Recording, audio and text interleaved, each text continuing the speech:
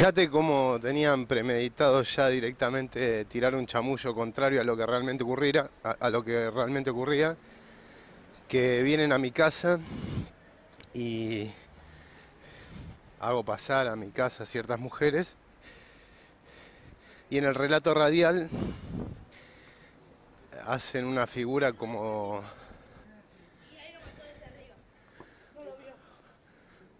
como que yo persigo feministas y aparte me quiere describir como machista. Craso error, eh, dos, dos falsedades juntas que no constituyen en absoluto una verdad. Y mm, igual ya lo tenía medido previamente cuál era la, la actividad que iban a llevar a cabo, pero de vuelta saltó ese sector de Radio UBA que demuestra que siempre tuvieron una pata universitaria política y que es la pata que quieren encubrir, ¿no? Que es la responsable de la derecha actual y de la derecha anterior eh, que fue creciendo, ¿no?